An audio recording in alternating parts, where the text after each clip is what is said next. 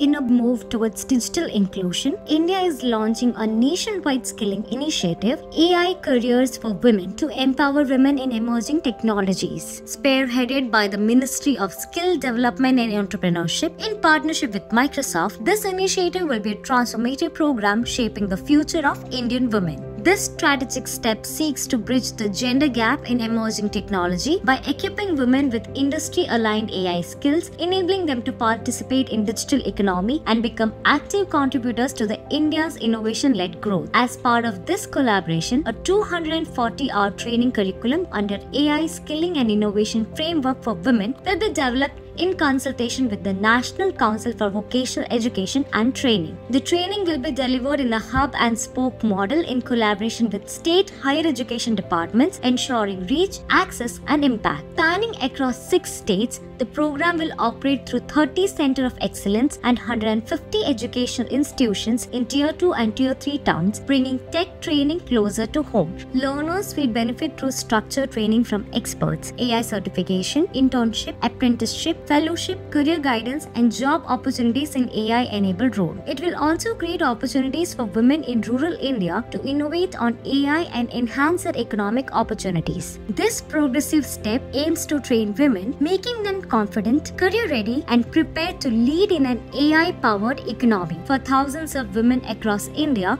this journey goes beyond learning. It's a gateway to confidence, creativity, and change.